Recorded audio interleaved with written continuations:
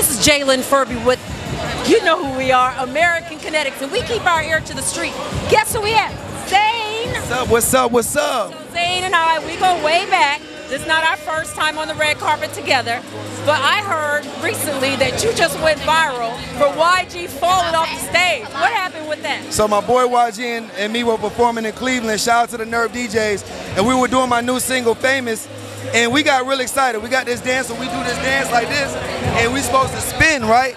I was supposed to spin that way, he's supposed to spin this way. We spin the same way.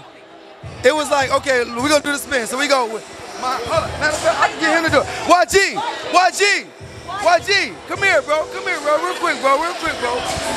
So apparently on Zane's last show, him and YG, YG actually fell off the stage. Right. And that's why the new single Famous will be famous is for falling off the stage. But and for good talent. So you want me to show you how, how it went?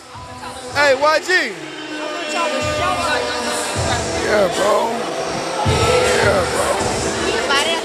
So YG, I heard at the last show Oh yeah. that you guys were acting just a pure fool Yeah.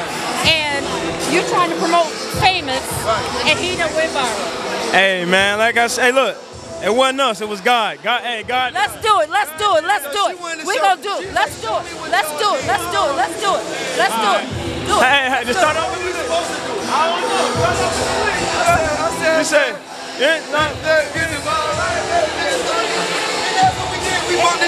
other. Just went And we fell. And that's exactly what we did. We bumped into each other and fell. Right now, we had like, we had almost a million views right now. In two days.